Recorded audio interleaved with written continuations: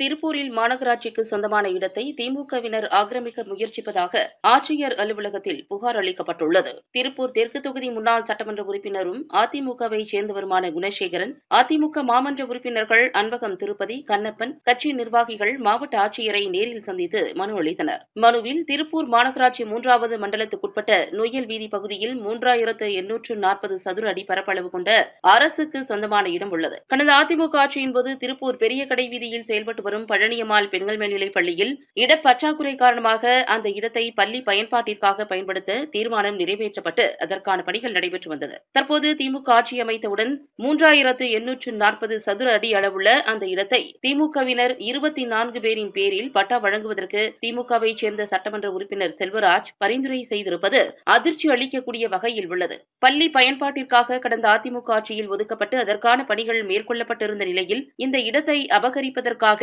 நீதிமன்றத்தில் அரசு தரப்பில் அரசு அதிகாரிகளையோ வருவாய்த்துறை அதிகாரிகளையோ தரப்பினர்களாக சேர்க்காமல் தனிப்பட்ட நபர்கள் தங்களுக்கு இடையே பாக பிரிவினை வழக்காக தொடர்ந்து மோசடி செய்துள்ளனர். இந்த வழக்கு விசாரணை சம்பந்தப்பட்ட அதிகாரிகளிடம் மனு அளித்து தீர்வு காண கூறி தள்ளுபடி செய்யப்பட்ட நிலையிலும் அதனை மறைத்து தற்போது இருபத்தி நான்கு நபர்களுக்கு பட்டா வழங்க சட்டமன்ற உறுப்பினர் பரிந்துரை செய்திருப்பதன் மூலம் அந்த இடத்தை திமுக அபகரிக்க முயற்சி மேற்கொண்டு வருவதை தடுத்து நிறுத்த வேண்டும். இல்லையெனில் அதிமுக சார்பில் அப்பகுதி மக்களை திரட்டி மிகப்பெரிய போராட்டம் நடத்தப்படும் என்று அந்த மனுவில் தெரிவித்துள்ளனர்.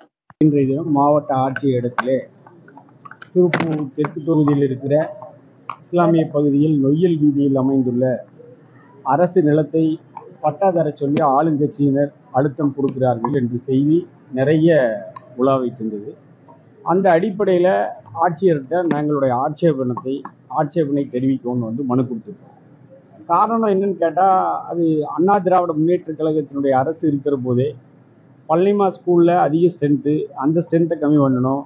நொய்யல் வீதி பள்ளியில் ஹையர் செகண்டரியாக இருக்குது.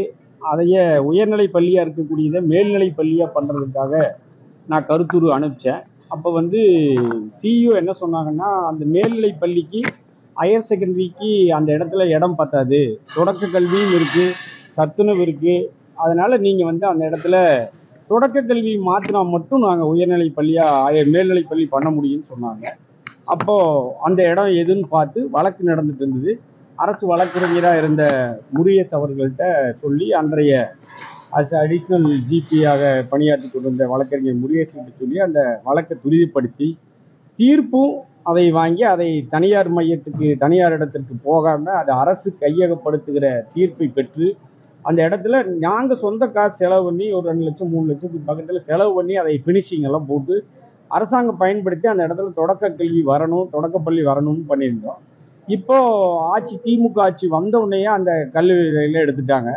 நம்ம வீட்டுக்குள்ளேயே பூந்து இருந்துருவாங்க திமுக ஆட்சி. இன்னைக்கு அதுதாங்கிறது உலகம் அறிந்து உண்மை. ஆனால் ஒரு பள்ளிக்கூடம் நடக்கணும். அந்த பள்ளிக்கூடத்துக்கு ஸ்ட்ரென்த் வேணும். மாணவிகளுக்கு ஒரு தனியாக பள்ளிக்கூடம் வேணுங்கிறது ஒரு நல்ல நிகழ்வு. அந்த நிகழ்வுகளில் மீண்டும் அந்த பழைய நபர்கள் போய் வழக்கு போடுவது ஆளுங்கட்சிக்கு சாதகமாக நாங்கள் இருக்கிறோம் ஆளுங்கட்சிக்காரன்னு சொல்லி சட்டமன்ற உறுப்பினர் மூலமாக பட்டா பெறுவது போன்ற நடவடிக்கை எல்லாம் கண்டிக்கத்தக்கது. ஒரு யாராக இருந்தாலும் இந்த நடவடிக்கையை எடுத்தால் அனைத்து இந்திய அண்ணா திராவிட முன்னேற்ற கழகம் அதை வெகுண்டிலிருந்து ஒரு பெரிய போராட்ட களமாக அந்த பகுதியிலே நாங்கள் கண்டன குரல் எழுப்புவோம் என்பதை இந்த நேரத்தில் தெரிவித்துக் கொள்ள கடமைப்பட்டிருக்கிறேன். மாவட்ட ஆட்சியரிடத்துலையும் சொன்னோம். அன்னைக்கே இருந்த அந்த அங்கே ஆக்கிரமிப்பாளர்கள் இடத்தை எல்லாத்தையுமே கூட நாம் ஒரு மனிதாபிமான அடிப்படையில் அன்னைக்கு நம்ம ஃபினிஷிங் போட்டோன்னே கூட பள்ளிவாசல் தலைவர்கள் எல்லாம் வச்சு அவங்களையுமே கூப்பிடுங்க. நீங்கள் வர சொல்லி அவங்களுக்கு இதில் உரிமையே இல்லைனாலும் பரவாயில்ல. ஒரு ஏழை மக்கள் பாதிக்கப்படக்கூடாதுங்கிறக்காக அடுக்குமாடி குடியிருப்பில் இதில் எத்தனை பேர் வழக்கு போட்டிருக்காங்களோ அவங்களுக்கெல்லாம் இரண்டு வீடு கூட கொடுக்கறதுக்கு நாம் ஏற்பாடு பண்ணலாம். மாவட்ட ஆட்சியரிடத்தில் பரிந்துரைக்கிறோம் நாங்கன்னு சொன்னோம். அதையெல்லாம் கேட்காம இன்னைக்கு நல்ல இடத்த ஆட்டையை போடுவதற்காக திராவிட முன்னேற்ற கழகத்தினுடைய ஆட்சியில் இன்று இந்த இடத்தை கையகப்படுத்துறதுக்கு நடவடிக்கை எடுத்துட்டு இருக்கிறாங்க. அது கண்டிக்கத்தக்கது. அரசு இடத்தில் துவக்கப்பள்ளி அமைய வேண்டும். அந்த மேல்நிலை பள்ளியாக நொய்யல் வீதி பள்ளி அமைய வேண்டும். பள்ளிமா பள்ளியில் இருக்கக்கூடிய ஸ்ட்ரென்த்து அதிகமாக போகாதிருக்கிறதுக்கு இது ஒரு பள்ளி மாற்றாக நமக்கு அமைய வேண்டும் என்பதற்கு இதுதான் ஒரு அருமையான வழி. அது வரைக்கும் அண்ணா திமுக திமுக எந்த நடவடிக்கை எடுத்தாலும் அதை எதிர்த்தும் களத்தில் நின்று போராடும் என்பதை அன்போடு தெரிவிக்கிறேன். ஆளுங்கட்சியில இப்ப சட்டமன்ற உறுப்பினர் கொடுக்குறாரு கடிதம் கொடுத்துருக்காருன்னு இப்ப நியூஸ்ல வந்துட்டு இருக்குது பாக்குறோம். எங்கிட்ட கூட மு க உசேன் தொடர்பு பேசுறதுக்கு அலைபேசியில் அழைச்சிருந்தாரு. நான் எடுக்கல அவருக்கு என்ன பதில் சொல்ல போறேன்? இதுக்கு முன்னாலேயே அவர்கிட்ட சொல்லியிருந்தோம். ஆளுங்கட்சியில் இருக்கிற போதே உங்களுக்கெல்லாம் வேற வீடு கூட கொடுத்துடலாம். இது வாங்க இதை இதுல போய் பண்ணாதீங்க. மக்களுக்கு நல்லது நடக்கக்கூடிய பிரச்சனை. உனக்கு உரிமையா இல்லையாங்கிறதையே நான் பேசல. அது கூட வேண்டாம். மக்களுக்கு ஒரு நல்லது நடக்குதுன்னா அதை நம்ம செய்யணுங்கிறது சொன்னோம். தீர்ப்பே இருக்கு.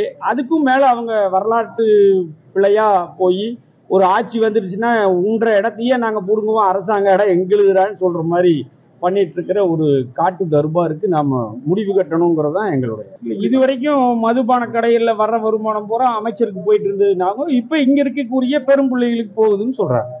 இப்போ அவர் உள்ள போனதுனால இன்னைக்கு உச்சநீதிமன்றம் அமலாக்கத்துறையிலோடு எடுத்துட்டாங்க. அதனால இப்போ அது மதுபான கடைகள்ல அம்மா இருக்கிற மாதிரி அரசுக்கு வருவாய் இல்லை. பன்னிரெண்டு மணி நேரம் அரசு பாரு பன்னெண்டு மணி நேரம் திமுக பாரு தான் ஓடிட்டு இருக்குது தமிழ்நாடு முழுவதும். இந்த குறிப்பிட்ட கடைகள் இல்லை இது ஒரு பெரிய விஞ்ஞான ரீதியான ஊழல் விஞ்ஞான ரீதியான கட்சி என்பதை நிரூபித்துக் கொண்டிருக்கிறது.